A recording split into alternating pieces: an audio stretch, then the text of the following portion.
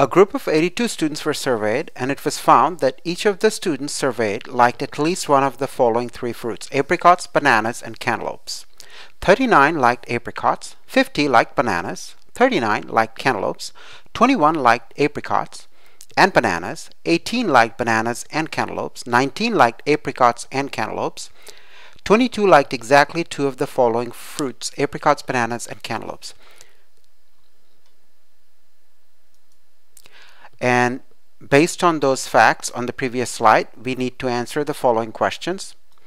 How many students liked apricots but not bananas or cantaloupes? How many students liked cantaloupes but not bananas or apricots? How many students liked all of the following three fruits? Apricots, bananas, and cantaloupes. How many students liked apricots and cantaloupes but not bananas? We're going to use a Venn diagram involving three sets to solve this problem.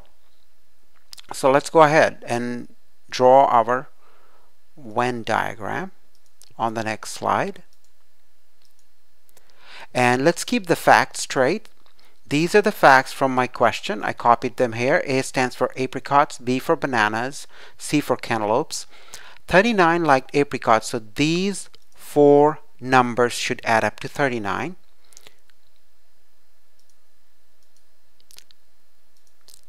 50 like bananas, these four numbers should add up to 50.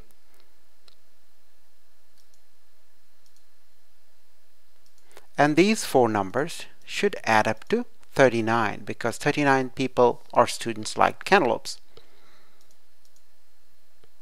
Now, let's go over one thing. That is, whenever you're drawing a three-set Venn diagram, a three-set Venn diagram splits your entire universe into eight disjoint regions representing eight non-overlapping areas and we need to find a number for each of the eight non-overlapping areas.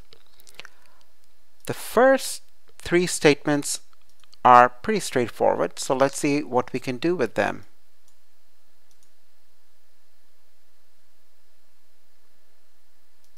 What I did is as follows. 39 students liked apricots. I put 39 for set A. 39 does not go here. 39 is the sum of these four numbers. 50 does not go here. 50 is the sum of these four numbers. And 39 for this 39, not this one. This one goes here. And this is the sum of these four numbers. All right? And you really want to get this. It's kind of important, otherwise nothing will make sense. All right. Now, 21 21 like apricots and bananas. This football should add up to 21. These two spots should add up to 21. Okay? Now, 18 like bananas and cantaloupes. These two areas of the football should add up to 20, 18. And 19 like apricots and cantaloupes. These two areas of this football, this and this, should add up to 19. Now the problem is, if we knew what goes here, we would be all set, but we don't. Uh, what we don't have is how many people liked all three. We don't have that. It says 22 liked exactly two of the following fruits. So 22 people liked two of them. These are the people who liked exactly two of the three fruits. So the last line tells me these three numbers should add up to 22. So what does that really mean? What can we do? How do we find out what goes here when it's not given? So what we're going to do, we're going to pretend, we're going to call this x.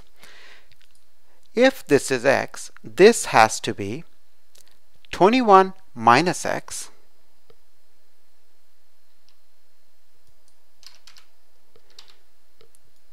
okay? And this has to be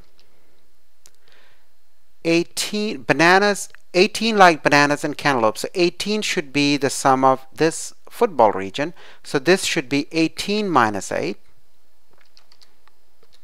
I'm sorry 18 minus x not 8 and 19 students liked apricots and cantaloupe and we just said these two areas in the football this and this should add up to 19 and that tells me this should be 19 minus x now I'm getting there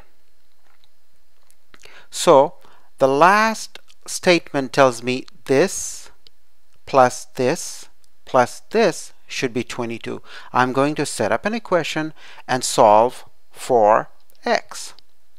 And this is my equation.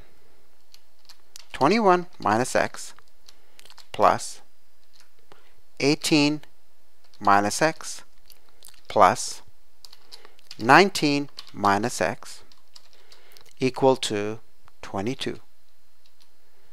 And we all know how to solve an equation like this. If you add 21 to 19, you're going to get 40. 40 plus 18 is going to be 58.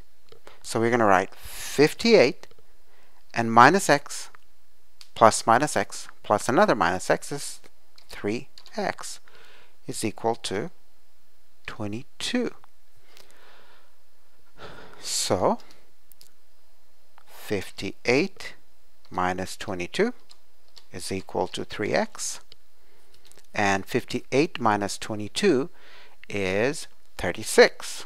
36 is equal to 3x or x is equal to 36 over 3 is equal to 12. So this tells me that the value of x is 12.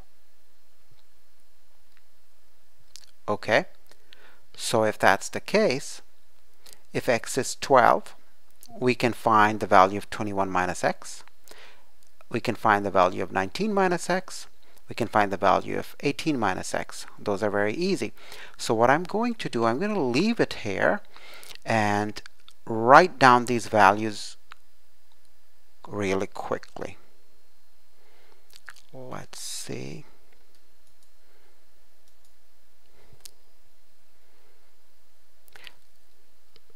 Okay.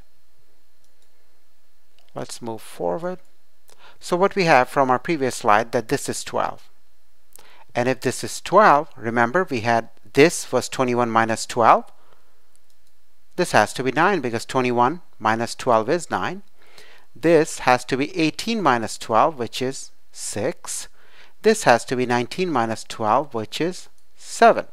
Well now we are almost there 39, we remember we talked about how these four regions should add up to 39. So if, if we subtract 9, 12, and 7 from 39, we're going to get 11, and that should go here.